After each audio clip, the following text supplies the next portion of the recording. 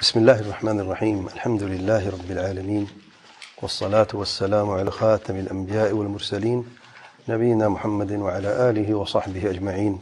وبعد القواعد الحسان المتعلقة بتفسير القرآن لفضيلة الشيخ الإمام عبد الرحمن بن ناصر السعدي رحمه الله شرح فضيلة الشيخ العلامة محمد بن صالح العثيمين رحمه الله. لكن شو اسمه؟ الدسوي قاعدة الدرس كأغاز كارثة القاعدة العاشرة في الطرق التي في القرآن لدعوة الكفار على اختلاف ملالهم ونحلهم. إمام سعد رحمه الله فرماته ده قاعدة قواعد الحسان مسي في الطرق التي في القرآن قرآن مجيد مي جو طريقه لدعوة الكفار كافرون كي دعوة كي لي على اختلاف بلهم ونحلهم ان کے مختلف ملتیں اور طریقے۔ پچھلے درس میں اہل ایمان سے کیا طریقہ ہے؟ قرآن مجید کا، ان کی دعوت کا، کس طریقے سے اللہ تعالیٰ نے خطاب فرمایا اہل ایمان سے قرآن مجید میں مختلف انداز، مختلف طریقوں سے۔ آج کی نشست میں اہل کفر جو ایمان کے ضد میں ہے اہل ایمان کے ضد میں ہے اہل کفر سے اللہ تعالیٰ نے کس طریقے سے خطاب فرمائے ہے اور مختلف طریقے اپنائے ہیں مختلف قسم کے کافروں کے لیے شخص فرماتے شیخ عبدالرحمن ناصر السعدی رحمہ اللہ يدعوهم إلى الدين الإسلامي والإيمان بمحمد صلى الله عليه وسلم قرآن مجید میں اللہ تعالیٰ نے دعوت دی ہے اہل کفر کو الى الدین الاسلامی دین اسلام کی طرف والایمان بمحمد صلی پر ایمان کے لیے۔ بما يصفه من محاسن شرع و دینه اس وصف سے جو شریعت کی خوبیاں ہیں اور دین کی خوبیاں ہیں، وما يذكره من براہین رسالت محمد صلی اللہ علیہ وسلم۔ اور اس کے ساتھ یہ بھی ذکر اللہ تعالیٰ فرماتے ہیں قرآن مجید میں، جو واضح دلائل و براہین ہیں اللہ تعالیٰ کے پیارے پیار وسلم کی رسالت کی کیوں؟ لہتدی من قصد الحق والانصاف تاکہ ان کو ہدایت مل جائے۔ جن کی نیت اور قصد ہدایت حق کو پانا ہے أور إنصاف کرنا ہے وہ تقم الحج تعلی المعارد اور جو ہر درمی سے مظاہرہ کرتا ہے انکار کرتا ہے اس پر حجت قائم ہو جائے تو یہ پہلا طریقہ ہے اہل کفر کی دعوت کا شخص فرمت وهذه أعظم طَرِيقِ ندعى بها جميع المخالفين لدين الإسلام. یہ سب سے بڑا طریقہ ہے دین اسلام کے مخالفین کی دعوت کے لیے دین اسلام کی خوبیاں اور اللہ تعالیٰ کے پیارے پیغمبر صلی اللہ علیہ وسلم کی جو شریعت ہے اور اللہ تعالیٰ کے پیارے پیغمبر صلی اللہ علیہ وسلم نے جو واضح دلائل و براہین جو لے کر آئے ہیں، ان کو ان تک پہنچانا شیخ صاحب فرماتے ہیں، فإن محاسن دین الاسلام ومحاسن النبي صلى الله عليه وسلم وآياته وبراهينه فيها كفاية تامة للدعوة۔ دین اسلام کی خوبیاں اور اللہ تعالیٰ کے پیار پیار صلی اللہ علیہ وسلم کی خوبیاں خود جو ہیں وہ اور جو آیات اور واضح دلائل لے کر ہیں اللہ تعالیٰ کے پیار پیار علیہ صلاحت والسلام، یہ کافی ہیں، مکمل کفایت ہے اس میں کہ مخالفین کو دعوت دی جائے، جو اہل کفر ہیں۔ قطع نظر عن ابطال شبہہم ويحتجون به۔ اس سے قطع نظر کہ جو ان کی غلط فہمی کی ازالہ کیا گیا ہے واضح دلائل سے، ان پر حجت قائم کی گئی ہے۔ یعنی ایک تو دین اسلام کی اور اللہ تعالیٰ کے پیار پیار خوبیاں بیان کی ہیں الگ سے۔ اور اس کے ساتھ ساتھ جو بھی غلط فہمی تھی کافروں کی بھی، اس کا ازالہ کیا کہ نہیں کیا؟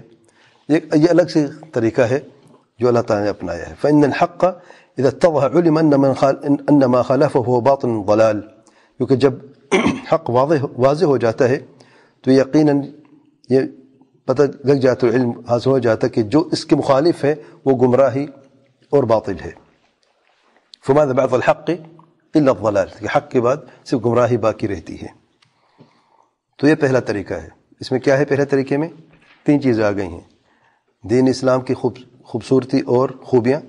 اللہ تعالیٰ کے پیار پہ وسلم کی جو خوبیاں ہیں وہ بیان کرنا۔ تیسرے نمبر پہ جو آیات واضحات اور دلائل جو اللہ تعالیٰ نے بیان فرمائی ہیں اپنے پیار پیغمبر وسلم کے ذریعے سے۔ چوتھے نمبر پہ غلط فہموں کا ازالہ جو کافروں کی طرف سے ہے، وہ بھی الگ سے ازالہ کیا گیا ہے اب پانچویں نمبر نمبر کتاب ان نمبر سے آسانی کے لیے ہم خود لگا رہے ہیں تاکہ ہم فنگر ٹپس بھی یاد کر لیں۔ پانچویں نمبر پہ وَيَدْعُونَ بِمَا يُخَوِّفُهُم مِّنْ أَخَذَاتِ الْأُمَمِ وعقوبات الدنيا وعقوبات الآخرة۔ اللہ تعالیٰ دعوت دیتا ہے اہل کفر کو قرآن مجید میں۔ ان امتوں کا ذکر کر کے جو کو اللہ تعالیٰ نے ہلاک کیا ہے، جو سزائیں دی ہیں۔ تو ڈراتے اللہ تعالیٰ ہر سننے والے کو اہل کفر میں سے جو زندہ ہیں ان امتوں کے ساتھ جو ہوا ہے، وہ راستہ تم نہ اپناؤ تاکہ تمہارے ساتھ وہی نہ ہو جو ان کے ساتھ ہوا ہے۔ سبحان اللہ۔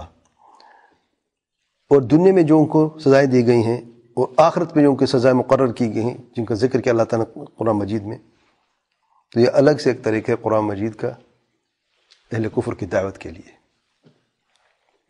یعنی فرعون کا حال دیکھ لیں آپ۔ جو بھی قصہ پڑھتا ہے، موسیٰ علیہ السلام فرعون کا قصہ قرآن مجید میں مختلف یعنی ستر جگہ سے زیادہ بیان کیا اللہ تعالیٰ نے اس قصے کو، اور فرعون کی ہلاکت کو، انجام کو۔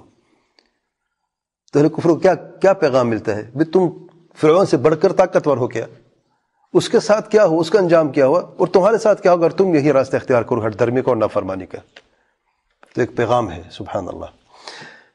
اور طریقہ چھٹے نمبر وہ بھی ماں فی الداء باطل من انواع الشرور والعواقب الخبیثة جو کچھ باطل ادیان میں مختلف شر موجود ہیں، مختلف قسم کے شرور ہیں اور خبیث عواقب موجود ہیں۔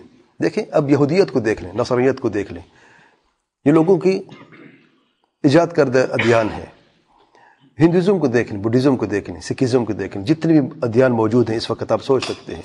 چاہے وہ آگ کے پجاری ہوں، چاہے وہ آسمان کے سورج، چاند اور تاروں کے پجاری ہوں، چاہے بت کے پجاری ہوں کوئی بھی ہوں ان کے جو عقیدہ ہے اور ان کا جو دین ہے جن پر وہ عمل کرتے ہیں، کتنی ان میں شرور موجود ہے۔ کتنی شر ہے۔ سبحان اللہ۔ اور کتنی خبیص قسم کی جو ان کے انجام اور عواقب ہوتی ہیں۔ یعنی دیکھ جب کوئی ہندو مر جائے تو اس کو جلا دیتے ہیں۔ یعنی ایک شخص اپنے پیاروں کو اپنے ہاتھ سے جلا دیتا ہے۔ ہم قبر میں اتارتے ہوئے ہمارے ہاتھ کانپتے ہیں۔ اگر اللہ کا حکم نہ ہو تو پتہ نہیں ہم کیا کرتے۔ لیکن سبحان اللہ، اب یہ طریقہ ہے وہ، اور اسی پر وہ خوش ہو جاتے ہیں۔ اپنے دین کا ایک طریقہ اختیار کیا ہے۔ سبحان اللہ۔ تو یہ اسی عاقبت میں سے جس کا شیخ ذکر فرما رہے ہیں۔ اگلا جو ہے، ساتویں نمبر پہ وہ حضر من طاعت رؤساء الشر و دعات النار۔ اللہ تعالیٰ خبردار فرماتا ہے، جو بھی شر کے سردار ہیں، اور جهنم کی طرف داعی ہیں دعات على أبواب جهنم معروف حدیث ہے اللہ تعالیٰ قرآن مجید میں نمرود کا ذکر کیا ہے فرعون کا ذکر کیا ہے أبو لہب کا ذکر فرمایا ہے یہ کون ہے یہ أمر قومہ کے سرداروں میں سے تھے لیکن دعات الابواب جہنم تھے کہ نہیں ان کی دعوت کیا تھی أبو لہب کی کیا دعوت تھی تب تدا ابی لہب و تب کیوں جہنم رسید ہو کیوں ہلاک أبو لہب دعوت کیا تھی اس کی شر کی دعوت تھی کہ نہیں؟ شر کی دعوت تھی۔ نمرود کی کیا دعوت تھی؟ فرعون کی کیا دعوت تھی؟ حامان کی کیا دعوت تھی؟ سبحان اللہ۔ وَنُ لَبُودَ أَن تَتْقَطَّعَ نُفُوسُمْ عَلَى حسرات۔ اگلا طریقہ کتنی ہو گئے؟ نمبر میرے پاس نہیں لکھے ہوئے۔ آٹھواں نمبر ابھی ہوگا۔ آٹھواں نمبر پہ، اور یہ لازمی ہے کیونکہ حسرت الندامت لازمی ہوگی جو کچھ انہیں راستہ اختیار کیا ہے۔ اللہ تعالیٰ کے پیار پہ پی پی پی وسلم کی فرم برداری کے سوا کوئی اور راستہ اختیار کیا ہے وأنه لابد أن تتقطع نفوسهم على طاعتهم حسرات وأنهم يتمنون لو أطاعوا الرسول صلى الله عليه وسلم لم يطيعوا السادة والرؤساء. کہ جو سربراہ ہیں شر کے جو سردار ہیں شر کے جو دعات إلى النار ہیں اگر ان کی فبرداری نہ کرتے ان کی اطاعت نہ کرتے اور اللہ تعالیٰ کے پیارے پیغمبر صلی اللہ علیہ وسلم کی دعوت کو قبول کر لیتے اور اللہ کے پیارے نبی کی دعوت کو قبول کر لیتے تو آج ان کا یہ إنجام نہ ہوتا ہے تو یہ حسرت و ندامت قیادت کے دن ہوگی نا؟ اللہ نے ذکر فرمایا ہے کہ نہیں؟ اس دنیا میں لوگ قرآن میں پڑھ رہے ہیں کہ نہیں پڑھ رہے؟ وہ جو انبیاء کی دعوت جھٹلانے والے ہیں، اور رکاوٹیں پیدا کرنے والے ہیں، اہل کفر میں سے، وہ پڑھ رہے ہیں کہ نہیں پڑھ رہے؟ ان کے کاروں میں یہ خبر جا رہی کہ نہیں جا رہی؟ کس لیے ہے یہ؟ تاکہ وہ خبردار ہو جائیں اور رک جائیں۔ اس طریقے سے یا اس راستے سے جو انہیں جہنم کی طرف لے کے جاتا ہے۔ وَنَ مَوَدَّتُهُمْ وَصَدَاقَتُهُمْ ستتبدل بغضاء وعداوة. اور یہ جو ان کی دوستیاں ہیں، اپنے ان سربراہوں کے ساتھ یا ان لوگوں کے ساتھ جو جہنم کی طرف داعی ہیں، یہ سب قیامت کے دن بدل جائے گی سب سے بڑی دشمنی میں۔ الاخلاء یوم بعض عدون الا متقین جس نے بھی کوئی دوستی لگائی ہے، کسی سے بھی اللہ تعالیٰ کی نافرمانی میں۔ لازمی جھگڑا ہوگا اور دشمن ہوگا قیامت کے دن۔ وہ کہے گا، تمہاری وجہ سے میں اس وقت ذلیل ہو وہ کہتے ہیں، تمہاری وجہ تھی، میں نہیں تھا۔ تم نے کیا؟ وہ کہتے ہیں، تم نے کیا۔ جھگڑا ہوا کہ نہ ہوا؟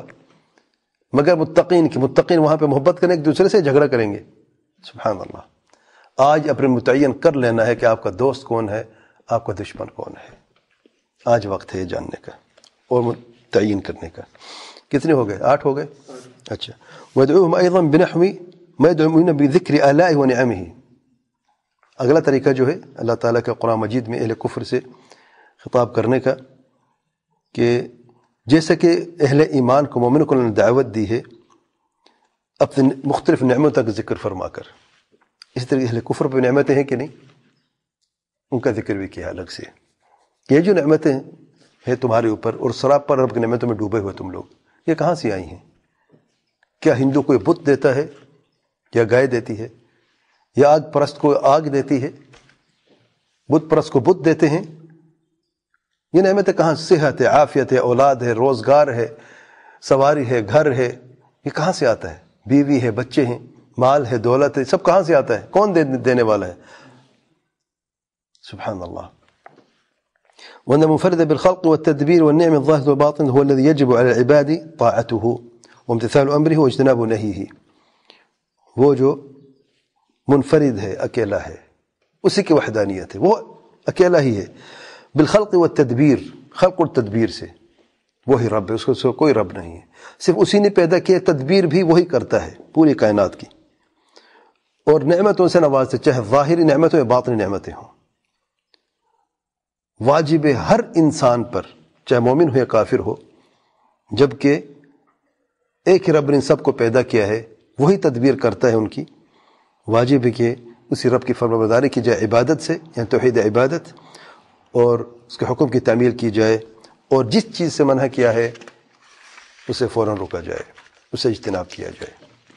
ایک اور طریقہ تھا، اللہ تعالیٰ نے جو قرآن مجید میں بیان کیا اہل کفر کے لیے۔ آٹھ ہو گئے؟ دس ہو گئے؟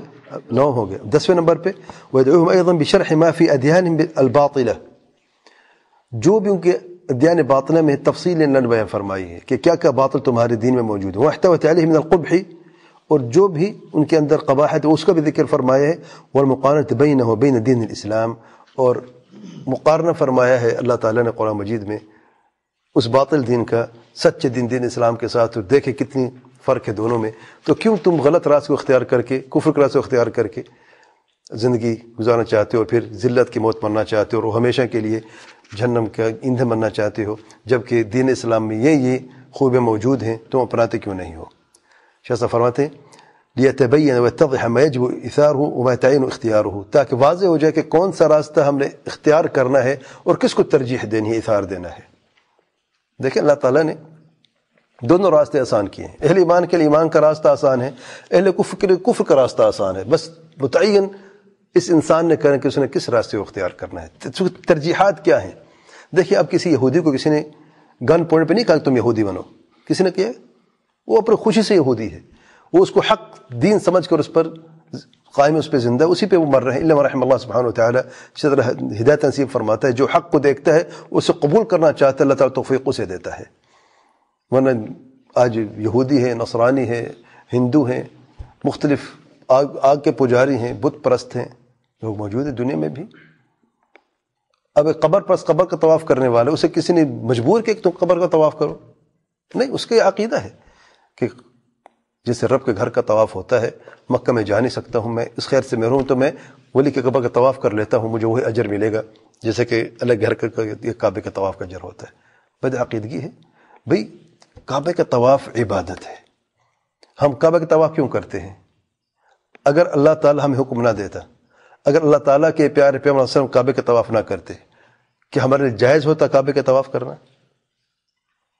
بدعت بدعت کیا ہے؟ دیم نئی چیز ایجاد کرنا۔ اگر حکم ہی نہیں ہے، اجازت ہی نہیں ہے، اور اللہ کے تقرب کے لیے اللہ کے نزدیک حاصل کرنے کے لیے ہم کوئی بھی عمل کرتے ہیں، اس کی دلیل ہونی چاہیے۔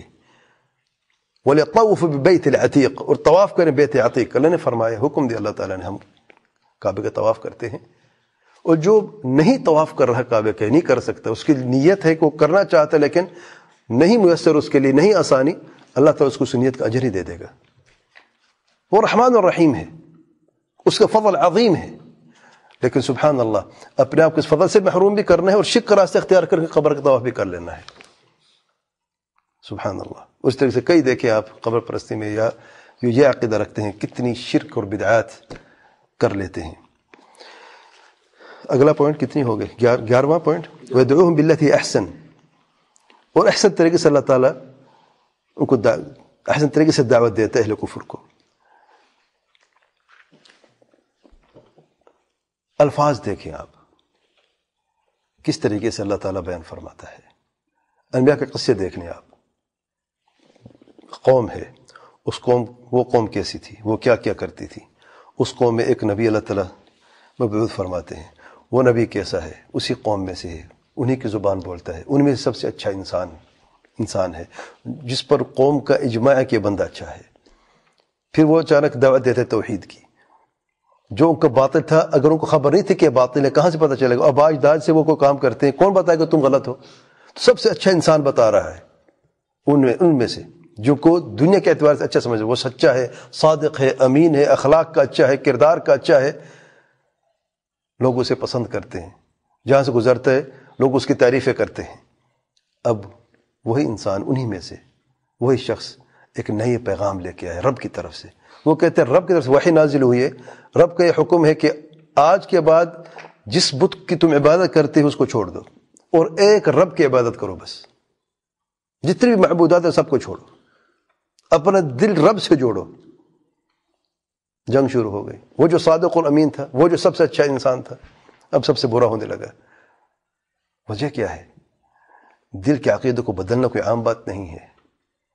اپنے ابا و اجداد کے راستوں کو چھوڑنا کوئی عام بات نہیں ہے۔ اس لیے مختلف طریقوں سے انبیاء کا قصے بیان فرمائے، مختلف انبیاء کا قصے بیان فرمائے۔ دیکھیں ان کا کیا انجام ہوا۔ کیا انبیاء علیہ السلام کے قصے جو قرآن میں ذکر اللہ تعالیٰ نے فرمائے قریش نے ابو جہل ابو الحد نہیں سنے تھے کیا سنے تھے کہ نہیں سنے تھے ان کا انجام واضح ہو کہ نہ ہوا اس کے باوجود بھی کہ حق کو قبول کیا نہیں قبول کیا ان پر حجت ہوئی کہ نہ ہوئی اور اہل ایمان کے لیے آسانی ہوئی کہ نہ ہوئی تسلی ہوئی کہ نہ ہوئی سبحان اللہ تو شیخ صفان ویدعوہم باللتی احسن احسن طریقے سے فَإِذَا وَصَلَتْ بِهِمُ الْحَالِ إِلَى الْعِنَادِ اور اگر وہ ہٹ درمی کا شکار ہو جائیں، وہاں تک پہنچ جائیں۔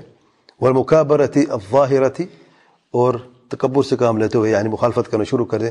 تو عید بالعقوبات الصوارم، تب سزاؤں کا ذکر ہوتا ہے۔ نہیں مانو گے تو پھر سزائیں بھی موجود ہیں۔ جو سخت سزائیں ہیں، اور واقع ہو کر رہیں گی۔ وہ بین الناسی طریقتہم التکان علیہ وہ لوگوں کو طریقہ بیان فرمایا جس پر وہ قائم تھے۔ وَأَنْهُمْ لَمْ يُخَالِفُ الدِّينَ الْجَهْلَ وَضَلَالًا۔ ان کی مخالفت دین کی، جہالت اور گمراہی کی وجہ سے نہیں تھی۔ اب تو علم بھی آ گیا ہے۔ چلو پہلے جہالت یہ پتہ نہیں تھا، اب تو نبی کے زبانی پیغام تو پہنچا ہے نا، علیہ السلام والسلام۔ او لقیام شبہت او جبت لہو التوقف۔ یا کوئی شبہ تھا جس وجہ سے توقف کا شکار ہو گئے۔ اب پتہ نہیں حق ادھر ہے کہ ادھر ہے۔ یہ شبہ باقی ہے۔ جتنی شبہات تھے سب کا ازالہ کیا کہ نہ کیا۔ قرآن مجید میں اہل کفر کے کوئی شبہ ہے جس کا ازالہ نہ ہو۔ یہودوں کے شبہات ہیں، نصارہ کے شبہات ہیں، بت پرستوں کے شبہات ہیں۔ سب کی شبہات کا ازالہ ہوا ہے۔ اچھا انسان توقف کب کرتا ہے؟ جب حق واضح نہ ہو۔ حق واضح کب واضح نہیں ہوتا؟ جب دلائل واضح نہ ہو۔ دلائل کب واضح نہیں ہوتی؟ جب غلط فہمی ہو کسی دلیل کسی مسئلے میں۔ واضح نہیں ہے۔ مزید وضاحت کی ضرورت ہے۔ توقف ہو جائے۔ قرآن مجید میں ہر شبہ کا اضالہ موجود ہے۔ اس لیے یہودی کافر ہیں کہ نہیں؟ توقف کرنا چاہیے؟ کوئی شک شبہ باقی رہ گیا ہے؟ نہیں، کافر ہیں۔ کیوں؟ کیونکہ اللہ نے واضح بیان فرمایا ہے۔ نصارہ کافر ہیں کہ نہیں؟ کافر ہیں۔ کیوں؟ کیوں اللہ تعالیٰ نے واضح بیان فرمایا۔ لقد کفر الذین قالوا ان اللہ المسیح ابن مریم۔ یقین لوگوں نے کفر کیا، جو لوگوں نے کہا کہ مسیح مریم ہی اللہ تعالیٰ ہے۔ جو اللہ تعالیٰ کے اختیارات ہیں، وہ اللہ کے اس پیارے نبی علیہ السلام کو دے دیے ہیں۔ کافر ہیں ایسے لوگ۔ آج کے نصرانی کا کیا عقیدہ ہے؟ یہی عقیدہ ہے کہ کوئی اور ہے؟ سبحان اللہ۔ شیخ صاحب فرماتے ہیں، وَإِنَّمَا ذَلِكَ جُحُودُ وَمُكَابَرْتُ وَعِنَاد۔ یہ تو صرف ان کی جو جو انکار ہے دین اسلام میں داخل ہونے سے، وجہ پھر کیا باقی رہتی ہے؟ مقابرتاً و عناد صرف ہر درمی ہے۔ اور تکبر ہے. وَيُبَيْنُ مَعَ ذَلِكَ الْأَسْبَارِ تِمَنَعَتُهُم مِّن مُتَبَعَةِ الْهُدَى اور اس کے ساتھ ساتھ اللہ تعالیٰ وہ اسباب بھی بیان فرماتا ہے جو ہدایت کے راست جو ان کی ہدایت کے راست میں رکاوٹیں پیدا کرتا ہے. یہ اسباب بیان فرمائے ہیں. مثال کے طور پہ یہود و نصارہ ہیں. اتخذوا احبار و ارباب من دون اللہ. یعنی بعض وجوہات، جن وجوہات میں سے یہ یہود و نصارہ جو ہے کفر پر قائم، وجہ کیا ہے؟ اپنے احبار رحبان کو رب کا درجہ دے دیا ہے. جو وہ کہتے وہی کرتے ہیں کہتے یہ حلال ہے تو حلال ہے۔ یعنی دیکھ رب کا کیا حکم ہے؟ نہیں، بس کسی عالم نے کہہ دیا، اسی کی پیروی کر کے کہہ دیا کہ یہ حرام ہے جبکہ حلال تھا۔ یہ حلال ہے جبکہ وہ حرام تھا۔ کیوں؟ کسی، ان کی کسی عالم نے کہہ دیا ہے۔ نہیں، یہ رب کا درجہ دینا جو ہے، کسی کے لیے جائز نہیں ہے۔ کسی عالم کا یہ حق نہیں، تو رب کا حق ہے صرف۔ تو یہ اسباب ان کا ذکر، میں ایک چھوٹی سی مثال دے رہا ہوں۔ اس سے کئی مثالیں دیکھ لیں آپ۔ ایک تو اہل کفر جو مختلف ادارے وہ باطل ہیں۔ پھر جو مختلف راستے جو کفر تک لے کے جاتے ہیں، ان کا بھی سد باب کیا ہے۔ یہ سب پیغامات بھی، اسباب بھی موجود ہیں قرآن مجید میں۔ شیخ عبد الرحمن ناصر السعدی رحمہ اللہ فرماتے ہیں، وَأَنَّهَا ریاس ریاسات و اغراض النفسیت ان میں سے یعنی جو مختلف وجوہات ہیں اپنے کفر پر رہنے کی اور دین اسلام کو قبولہ کرنے کی، ان میں سے اغراض نفسیہ بھی ہیں، ریاست ہیں، یا اقتدار کی حوث ہوتی ہے، یا خواہش نفس کی پیروی کرنا مقصد ہوتا ہے۔ وَأَنَّهُمْ لَمَّا آثَرُوا بَاطِلَ الْحَقِّ طَبْعَ طُبِعَ عَلَى قُلُوبِهِمْ۔ جب انہوں نے ترجیح دی ہے باطل کے حق پر، تو ان کی دلوں پر اللہ تعالیٰ نے مہر لگا دی ہے۔ ان کے دلوں پر مہریں لگ گئی ہیں۔ نعوذ باللہ من الخذلان۔ کتنی بڑی بدبختی ہے۔ اللہ تعالیٰ نے پہلے مہر نہیں لگائی۔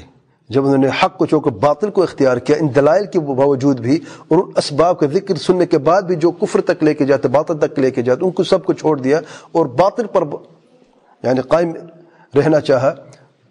ان سب حقائق کو چھوڑ کر تکبر اور ہر درمی کا مظاہرہ کرتے ہوئے تب اللہ تعالیٰ کو دلوں پر مہر لگا دی ہے۔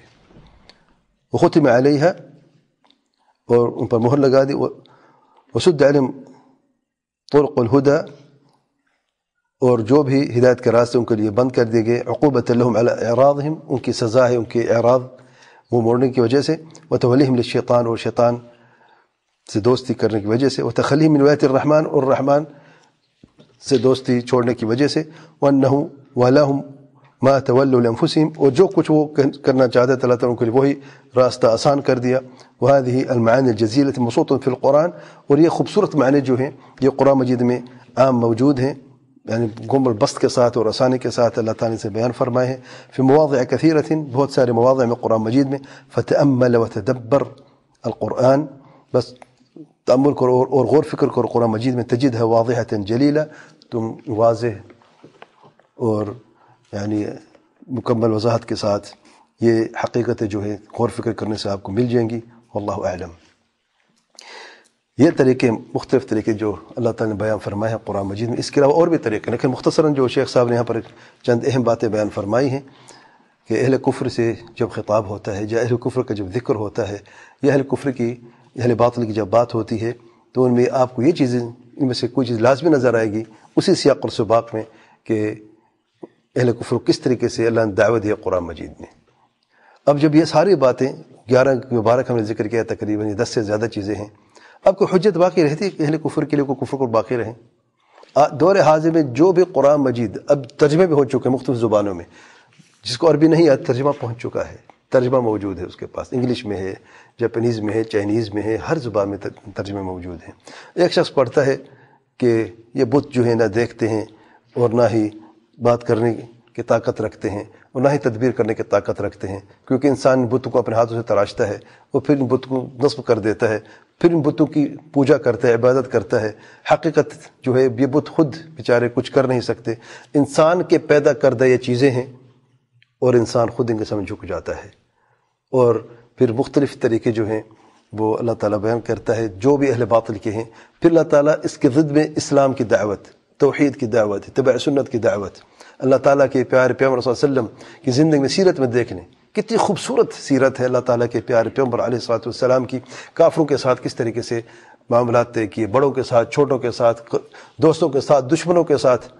واللہ یعنی ایسی شخصیت آپ کبھی سوچ بھی نہیں سکتے کہ دنیا میں کوئی ایسا انسان موجود تھا جن میں یہ ساری خوبیاں جمع ہو گئی تھیں۔